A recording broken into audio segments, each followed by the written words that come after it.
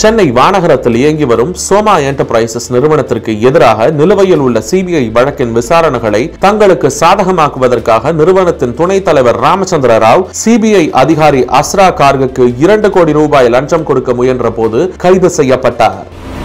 Civil நீதிபதிகளுக்கான தேர்வுக்கு மனிதநேய அமையமும் பார் கவுன்சிலும் இணைந்து இலவச பயிற்சி அளிக்கிறது.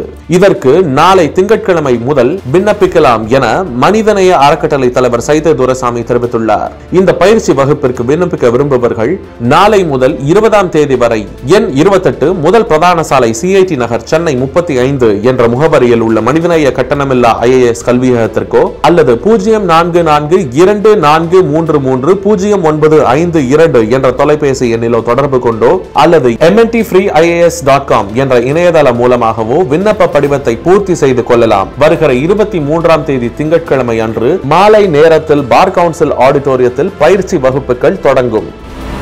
சென்னையில் உள்ள போலீஸ் நிலையத்தில் அளிக்கப்படும் புகார்களுக்கு உரிய ரசீது வழங்கப்படாமல் இருந்தாலோ குற்றச்சாட்டுகளுக்கு முகாந்தரம் இருந்தும் வழக்கு பதிவு செய்யப்படாமல் இருந்தாலோ வழக்கில் போலீசார் எடுத்த நடவடிக்கை திருப்தி அளிக்கவில்லை என்றாலோ உயர் போலீஸ் அதிகாரிகளிடம் பொதுமக்கள் குறைகளை தெரிவிப்பதற்கு வசதியாக விரைவில் வாரந்தோறும் சிறப்பு குறை தீர்வு முகாம் நடைபெறும் என காவல் ஆணையர் ஏ கே விஸ்வநாதன் அறிவித்துள்ளார். சிறப்பு பூஜை செய்வதாக கூறி பெண்களிடம் தொண்ணூத்தைந்து பவுண்ட் நகையை மோசடி செய்த சென்னை அமைந்த கரை பொன்வேல் தோட்டம் அம்மன் கோவில் பூசாரியான ஆனந்தனை பாதிக்கப்பட்ட பெண்களே தர்மாடி கொடுத்து போலீசில் ஒப்படைத்தனர். அவரை போலீசார் கைது செய்து விசாரித்து வருகின்றனர்.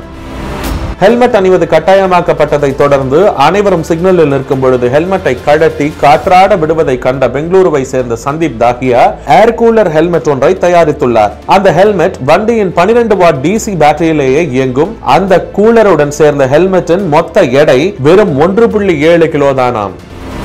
அமெரிக்காவின் ஹூஸ்டன் நகரில் பிரதமர் மோடி பேசவிருக்கும் கூட்டத்தில் அமெரிக்கா அதிபர் டொனால்ட் ட்ரம்ப் கலந்து கொள்வார் என எதிர்பார்க்கப்படுகிறது.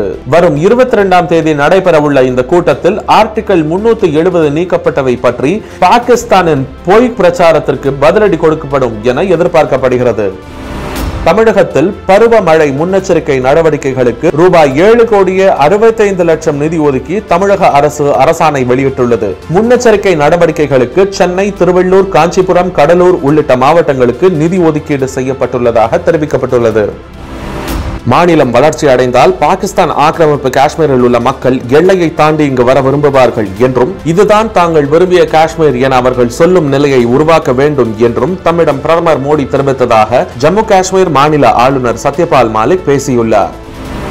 லண்டனில் பிரிட்டனின் மறைந்த முன்னாள் பிரதமர் வின்சென்ட் சர்ச்சில் பிறந்த மாளிகையில் இருந்த தங்க டாய்லெட்டை திருடர்கள் திருடிச் சென்றுள்ளனர். அதனுடைய மொத்த மதிப்பு எட்டு கோடியே எண்பத்தெட்டு லட்சம் ஆகும்